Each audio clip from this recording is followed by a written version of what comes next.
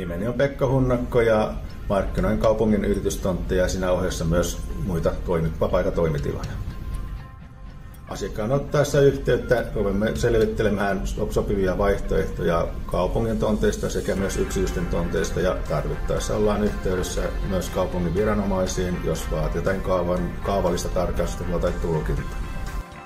Vuosittain tehdään tonttitarjouksia yli 100, joista 40 johtaa vähän pitemmälle ja sitten 20 tonttikauppaa tehdään keskimäärin vuodessa kaupungin viranomaisten toimesta.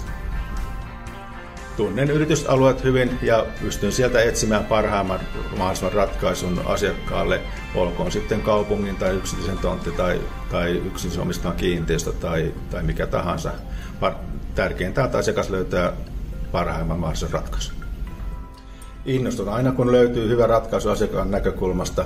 Tietysti aina uusi sijoittuva yritys innostaa aina, unohtamatta kuitenkaan paikallisten yritysten investointeja. Ja sillä ei ole väliä, onko yrityksen valitsema tontti tai kiinteistö kaupungin tai yksityisen pääasia, että yritys löytää parhaimman mahdollisen vaihtoehdon.